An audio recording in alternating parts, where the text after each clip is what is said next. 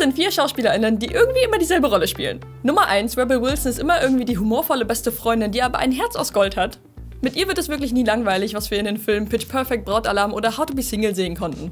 Nummer 2, wenn wir an Jumanji und an die Fast and Furious Filme denken, fällt uns wahrscheinlich auch direkt ein Schauspieler ein, der immer dieselbe Rolle spielt. Dwayne The Rock Johnson spielt immer diesen starken Charakter, der ganz oft in Action verwickelt ist und gegen Verbrecher und das Böse kämpft. Aber auch unter seiner harten Schale ist ein weicher Kern. Nummer 3, wenn man über trockenen Humor redet, muss man im selben Satz auch Ryan Reynolds erwähnen. Denn dieser spielt einfach in so vielen Filmen einen sarkastischen, lustigen Charakter. Alleine Deadpool und Free Guy sagen ja wohl alles. Und Nummer 4, du willst einen romantischen Teenie-Highschool-Film drehen, brauchst aber noch einen männlichen Hauptdarsteller. Da bietet sich Noah Centineo ja ziemlich an. Ich meine, gibt es einen besseren Highschool-Crush? Er macht Sport, sieht gut aus, versteht sich mit jedem und ist einfach mega beliebt. Das beste Beispiel dafür sind wahrscheinlich die Two All the Boys I've Loved Before Filme, aber auch Sierra Burgess is a Loser oder Perfect Date. Wer spielt noch immer dieselben Rollen? Schreibt's mir in die Kommentare. Und abonniert jetzt für mehr Filmfakten.